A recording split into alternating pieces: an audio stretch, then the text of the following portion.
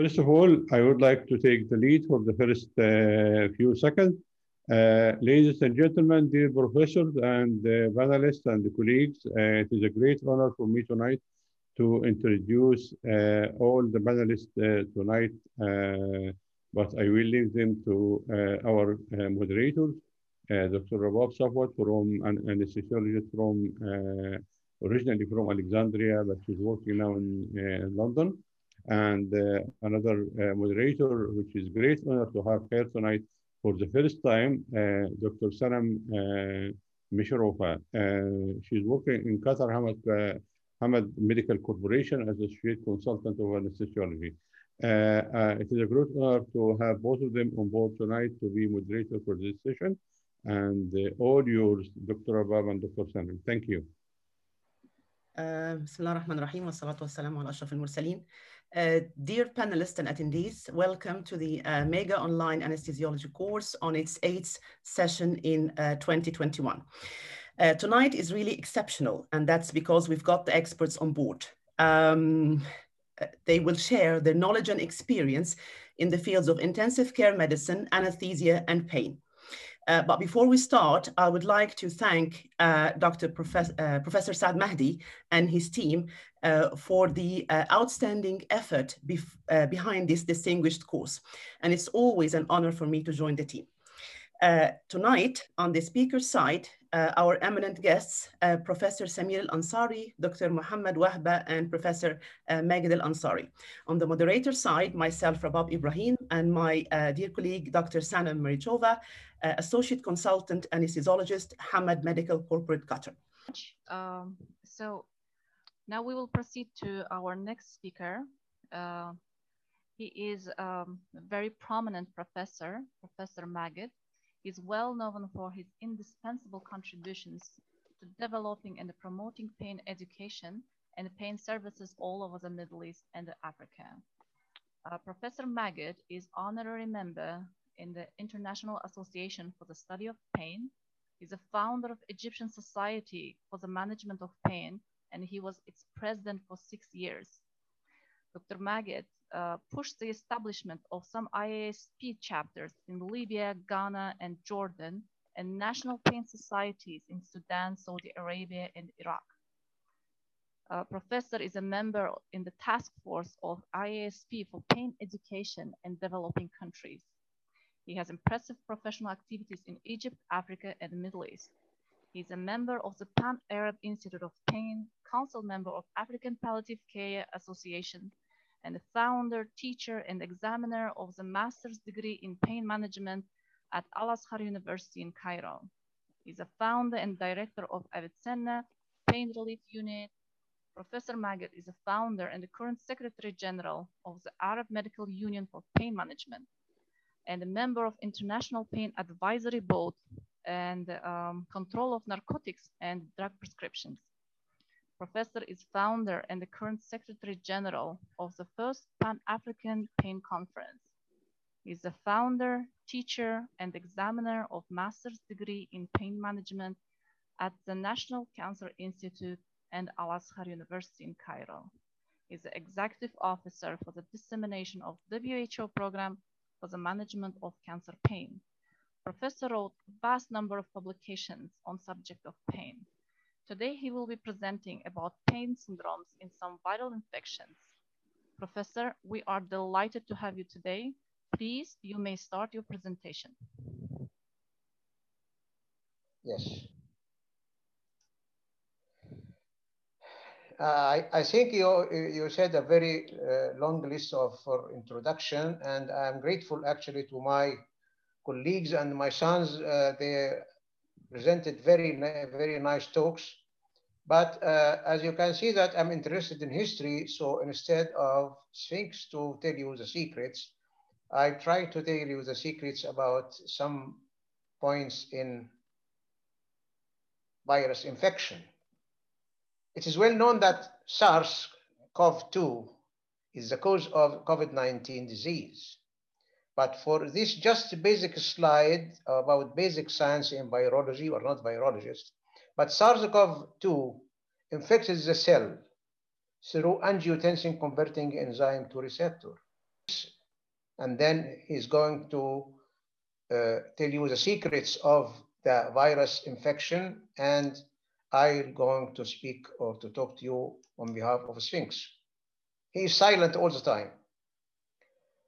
Now, SARS, so SARS-CoV-2 infects the cell through uh, angiotensin converting enzyme 2 receptors.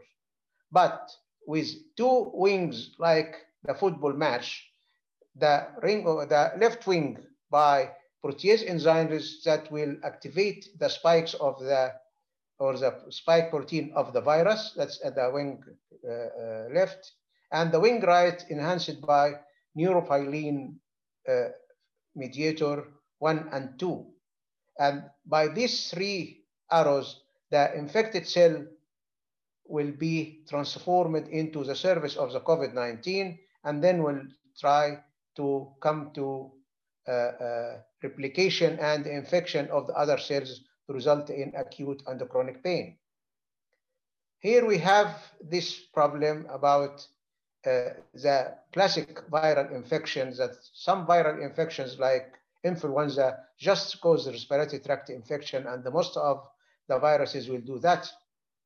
But some other viruses have certain affinity to the peripheral nervous system and the central nervous system in the meantime, resulting in Guillain-Barré syndrome. Herpes zoster is the most common to attack the CNS and the peripheral and central and in the skin in the meantime with the poliovirus to attack the motor system.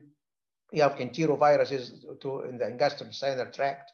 And, but specifically COVID virus, it would attack or overwhelming respiratory nervous system, gastrointestinal, everybody, as my friend uh, said that it would attack six system, not just the nervous system, but I'm my concentration on the pain and nervous system. Types of infection or in acute infection with COVID-19, you have acute pain. Like any other viral infection, you have in acute stage, you have headache, you have joint and the muscle pain, uh, what you call it, my bone aches all over the body. But after sometimes acute pain will turn it to be a chronic neuropathic pain, or we can call it the long virus, and my friend call it post-COVID uh, uh, disease. We call it another name, lung virus infection. Chronic pain patients already, they have chronic pain. Once infected by the, by the coronavirus, will have more and more aggravation of their pain. But there is a socioeconomic and uh, uh, uh, mental stress on those patients because they send they most of the patient they felt uh, condemned or something wrong and you can remember that in the uh, start of the disease everyone is afraid as if he has a very Ill, grave illness and everybody would like to be away from the patient even he's uh, free of SARS of COVID now but is, still condemned as he has certain uh, uh, communicable disease. And this will actually, sometimes they are frustrated and discontinue the, the medication and the, their condition may be worse and worse. And the problem of uh, uh, the social uh, stress, or psychological stress with anti-aggregant and non-steroidal anti-inflammatory drugs will result in what we call it stress ulcer. It's all over, all over it is something well known in the ICU. And for a person to be locked down or for isolated for 15 days just in one room, actually it is something like in the prison. The most uh, common viruses to cause the neurological complication, complications, not only the COVID-19, but we have herpes zoster, acute and chronic polyneuropathy, acute polyradiculoneuritis like Guillain-Barré syndrome, Epstein-Barr virus, hepatitis, AIDS, and cytomegalovirus and enterovirus, influenza, Zika, central nervous system disease, and lesions are very common in the form of transverse myelitis, encephalomyelitis, and cerebral stroke. Here is a nice presentation of herpes zoster virus and very colorful one, but the, the uh, attracting point is that most of the viruses, they have such spikes, like these spikes are used to encode the cell membrane of the human cell. They know the, the, the, the, the code or they know the composition of the cell membrane to invade uh, the, uh, the cell and to go into the nucleus of the cell. And here you have the typical herpes zoster after healing from the rashes and so on. Uh, and this actually a collection from uh, Babi Sharia University Hospital in the Pink Clinic. But strange enough, it is strictly unilateral. But sometimes it is bilateral it is very rare gathering. I have seen it once in my life over 40 years in the Pink Clinics. Now, posterior is very common and it will result in uh, uh, skin CNS disease or neuropathic pain caused by a varicella virus, but with a previous infection with chickenpox in the early childhood, and it will stay, the virus will stay dormant or hidden in the dorsal root ganglia for 50 or 60 years until old age, and then decline in the cell-mediated immunity, and it will flare up as uh, inflammation in the ganglia and actually skin dermatomal distribution. And the CNS, I think uh, you can remember the embryology that you have uh, uh, ectoderm differentiated into uh, central nervous system and to uh, uh, skin. So the, the herpes zoster is a disease of the embryo. It is not a disease of the, of the old man. Pain actually is a neuropathic and burning and the paroxysmal constant or uh, paroxysmal with allodynia. And most of the patient coming with uh, taking off their clothes or taking their clothes out of to not touch their skin. It's a very, actually very ty severe type of pain ranged from just lack of sleep until to commit suicide. Vaccination is promising, but actually the contraindication of vaccination uh, uh, is not suitable for everybody, but uh, I'm not going to do more details about herpes zoster. Now you have the AIDS virus also with these spikes. So I think the corona is not specific for uh, uh, for the uh, SARS virus. I, uh, maybe these uh, spikes are very powerful. AIDS virus actually results in loss of immunity and due to loss of immunity, and it will induce loss of immunity with peripheral polyneuropathy either by interaction and uh, with uh, uh, myelin sheaths to do myelination or the uh, activation of the, the glial cells. And the glial cells are the housekeepers of the CNS. They are giving oxygen and giving vasoconstriction, vasodilatation to the neuronal cells. But once they are affected, they start to be uh, wicked uh, and uh, uh, pain transmitters of neuropathic type of pain. Now you have allodynia, also burning sensation, and specifically in the lower limbs. But it's not the end of the story. AIDS, its own right, will do high or associated with high incidence cancer with subsequent cancer pain, and this is a completely different story. Now the enterovirus also with the spikes. Enterovirus uh, D68 actually responsible about respiratory disorder. It is a major cause for acute flaccid paralysis and is common in USA. By 2012, they have every now and then an, a flare up uh, uh, epidemic in USA, but actually one third of them, they have neuropathic pain and flaccid paralysis. Well, but the problem that motor sequelae are possible and the chronic pain has been reported after one year. So don't think that uh, uh, by the symptoms uh, are out or overcome, but it's still that you have a resident evil coming or present dormant inside the nervous system.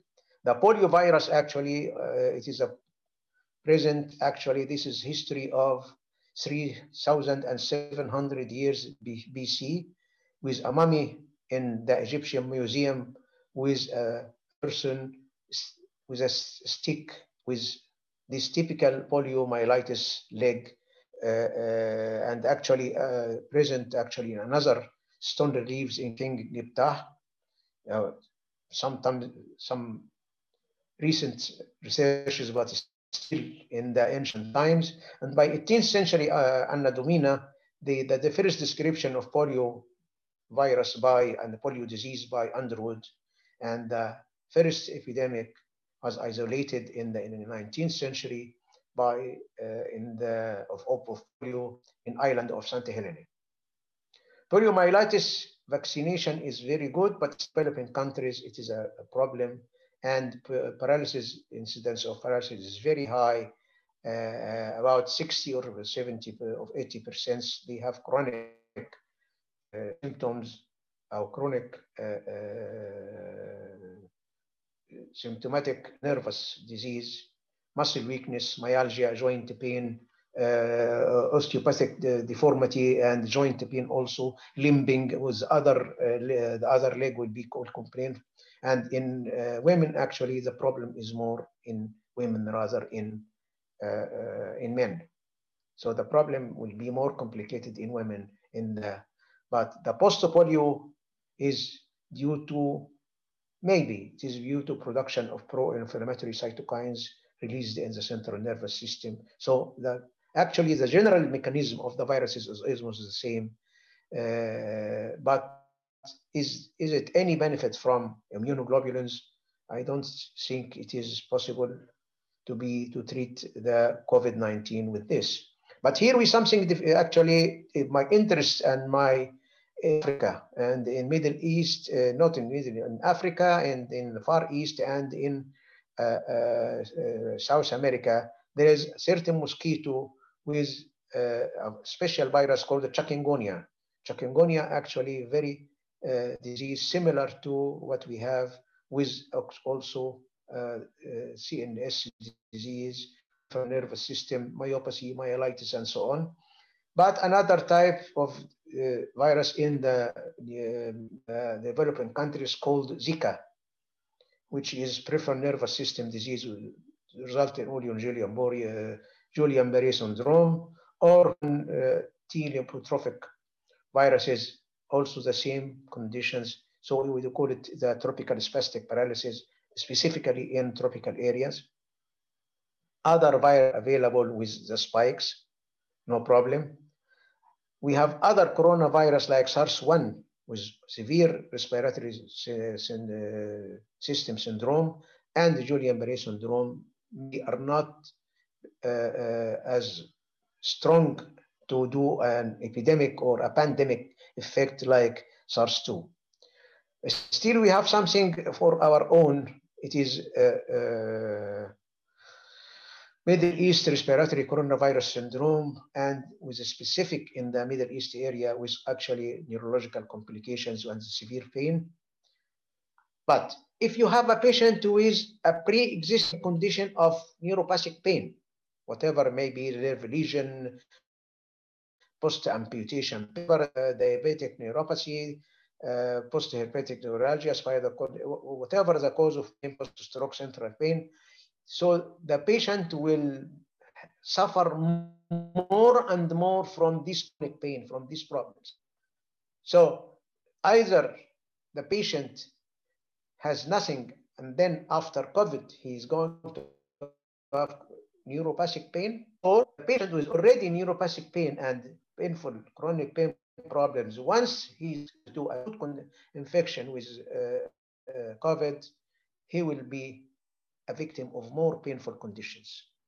This may be due to the release of toxins which will aggravate the pre-existing pain or ex exacerbation of an acute attack of herpes zoster again. So, so many conditions of acute herpes zoster after the relapse or after the uh, COVID-19 passed away.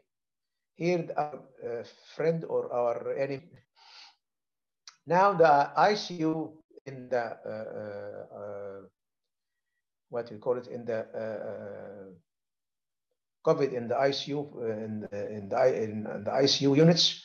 Actually, it is very common to have myopathy, You have tissue injuries because the patient long recumbency either in uh, supine or prone position or lack of uh, uh, turning over the patients and maybe for instrumentation like chest tubes, like tracheostomy, like cannulations of arteries or veins. So the problem coming from cytokine secretion, there is the general circulation of the virus and the direct invasion of the olfactory epithelium will loss, cause uh, loss of smell.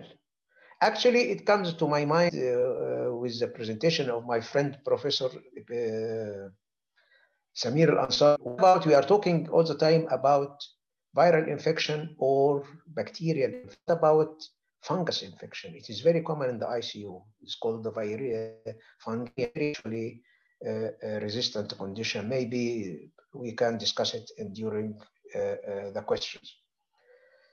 So acute phase will be turned to be chronic, but you cannot differentiate between COVID-19 and influenza. All will be accompanied by headache, dizziness, olfactory, or loss or taste disorders. But in hospitalized, in uh, hospitalized patient, he has a the incidence of cerebral stroke, meningitis, and encephalitis is higher. You have coagulopathy and you have uh, uh, uh, virotoxins circulating and with more and more disease, especially in the hospitalized patients. Autoimmune disease actually will be more uh, uh, common, like Guillain-Barré syndrome or disseminated, acute disseminated encephalomyelitis. So why? Anesthetic pain, hospitalize the patient with COVID is actually underestimated because it can develop, can be developed either not in the acute stage, but after the injury with some months, like one year, like I said before. The management of uh, uh, pain uh, due to viral infection on the top will be uh, for uh, COVID-19, pharmacological I'm going to adopt the WHO analgesic ladder step two, which means we can use uh, non-steroidal anti-inflammatory drugs, which is paracetamol. I don't about the other uh, non-steroidal anti-inflammatory drugs. Have some anti-aggregant properties. They have some analgesic, but they can do re release of uh, leukotrienes with bronchospasm they can do more and more bleeding from the gastric or uh, renal damage or whatever. So I, I just actually the, the question of anti non-steroidal anti-inflammatory drugs except paracetamol in COVID-19 questionable for me. Tramadol in the form of 50 milligrams three times to the to up to 400 milligrams or 300 milligrams. Gabapentinoids like gabapentin and pregabalin antidepressant or the serotonin and noradrenaline reuptake inhibitors or tricyclic antidepressants are a very good example. You can put uh, lidocaine or capsaicin uh, uh, patches, very important. Light is good as a systemic analgesic. Capsaicin will actually uh, do much in uh, viral infection, especially in presence of herpes zoster uh, with good relief of pain. But botulinum toxin sometimes used for uh, peripheral neuropathy, but actually in presence of encephalomyelitis and peripheral CNS disease, I think this toxin will be questionable uh, to make more and more flaccid paralysis.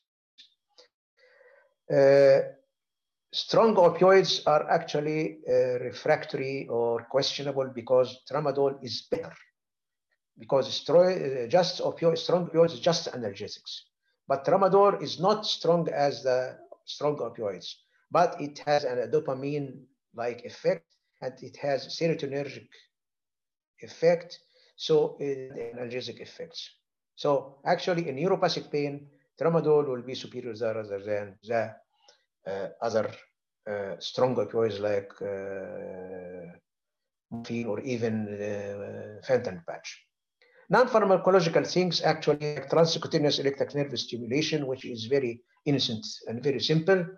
Repetitive transcranial magnetic stimulation, which is actually also non-invasive, or spinal cord stimulation, which is quite invasive material.